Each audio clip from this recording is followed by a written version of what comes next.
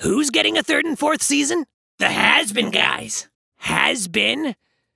Oh, is that the other show in this universe with characters that we're maybe, maybe not supposed to know about? But we interact with them in many ways? Exactly. Good for them. How many seasons are we getting again? I forgot.